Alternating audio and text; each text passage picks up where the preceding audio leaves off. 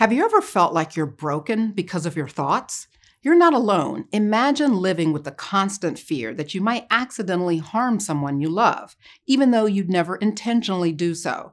This is the reality for many people with a less commonly known form of OCD. I'm Dr. Tracey Marks, a psychiatrist, and I help you strengthen your mind and fortify your brain to build resilience.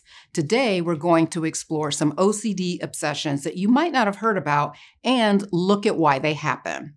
OCD, or obsessive compulsive disorder, is a complex mental health disorder characterized by intrusive, unwanted thoughts, known as obsessions, and repetitive behaviors or mental acts called compulsions. These compulsions are performed to alleviate the anxiety caused by the obsessions. And the relief is short lived, unfortunately, and the compulsions only reinforce the obsessions. When we think of OCD, what usually comes to mind are behaviors like washing hands repeatedly or checking the door to see if it's locked dozens of times. But OCD can manifest in many other ways that aren't so easily recognizable. And it's not just about cleanliness or perfectionism.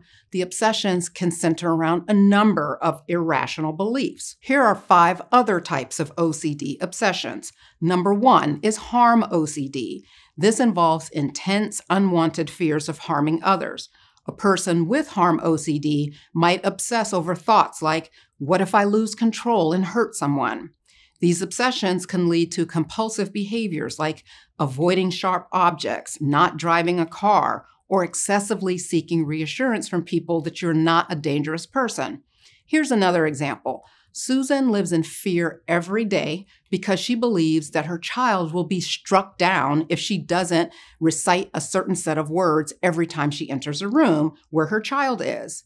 Now, you could ask Susan, how would your child be struck down? Are we talking a lightning strike, a bullet through the window? What? Susan doesn't know how it would happen and knows how illogical this sounds, but it doesn't matter. It's this gut feeling that she has that she can't shake, and she doesn't want to test it and risk something happening to her child. For some people, these harm obsessions are really distressing and disabling for them. As for the origins of this obsession, it may stem from an exaggerated sense of responsibility and an inability to tolerate uncertainty. Psychologists who focus on evolution suggest that it might stem from an overly active threat detection system in the brain. Also, people with harm OCD often have a strong moral compass and value the well being of others, which paradoxically manifests as fear of causing harm. Number two is relationship obsessions. And this happens when a person has intense, intrusive doubts about romantic relationships.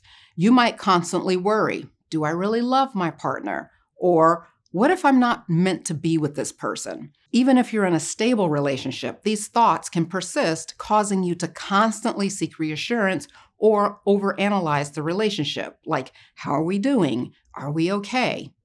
If you doubt your commitment to your partner, you may analyze every interaction for signs of incompatibility. It's as if you can't stop questioning if you made the right decision. And if this is you, you may unconsciously sabotage several relationships or drive people away because you can't feel settled that this is the person for you. Possible origins of relationship OCD are attachment insecurity, past relationship trauma, fear of commitment, or even societal pressures surrounding perfect relationships. Another thought about the origin is early experiences with caregivers can shape our expectations and fears in adult relationships evolutionary psychologists say that it's instinctual to select a good mate because it's necessary for survival. So some people are then wired to see this as a critical decision and overcheck it. Number three is somatic or sensorimotor obsessions. These involve an overfocus on bodily sensations and physical processes you can become hyper aware of your own breathing, blinking, or swallowing, and then obsess over the sensation to the point where it disrupts your daily life. For example, let's say today you're focused on your blinking. You may notice that your blinking pattern was off, and you'll correct it by blinking more in a certain cadence to get it just right. It's like your eyes just don't feel right until you do the right blink. Because these kinds of behaviors draw negative attention to yourself, because let's just face it, it's not a good look, some people will just avoid being around people when they feel really overstimulated. I say overstimulated because many times the intensity can come and go. You can have days where it's not much of a problem for you and you only need to correct something a couple of times and it's subtle. Then you can have a day where something sets you off, or you're especially anxious and you notice every little sensation.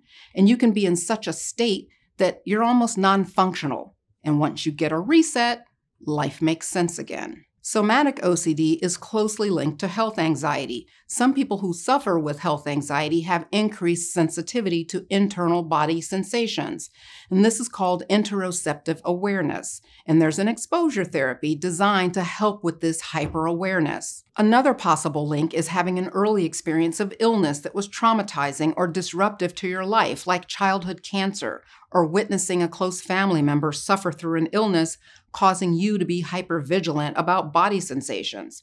You interpret these sensations as signals that you have another illness or the return of the original illness. Number four is religious or moral obsessions, also called scrupulosity. With these obsessions, you fear sinning, offending a higher power, or acting in ways that contradict your moral beliefs. You may doubt your moral character, and this doubt doesn't have to come because you did something that you're now questioning. It's like you can have this wave of doubt come over you and you connect it to some thought you may have had or a past behavior. For example, some people will believe that they did or thought something that they can't even remember. And if you ask them about it, they believe that they can be held responsible for things that they don't remember doing. Possible origins are being raised in a rigid religious upbringing while also having a temperament of being psychologically inflexible or perfectionistic.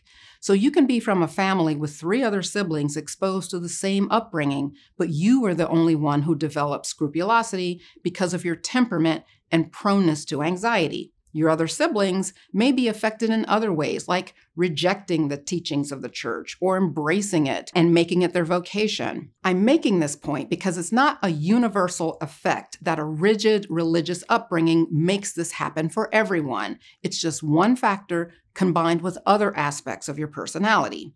Other influences are perfectionism, fear of punishment, or a strong need for certainty and control. And number five, lesser known OCD obsession is emotional contamination obsessions. You're probably very aware of obsessions around fear and germs, but another form of this involves fear of being contaminated by the negative traits of or emotions of other people. You believe that people with negative thoughts and emotions can transfer their emotions over to you if you're in close proximity to them. So you avoid these people or situations to keep your thoughts and emotions pure. And this isn't necessarily referring to moral purity. It can mean originating only from you and not mixed with anyone else. This obsession could stem from an exaggerated belief in the power of social influence and a strong desire to maintain emotional or intellectual purity.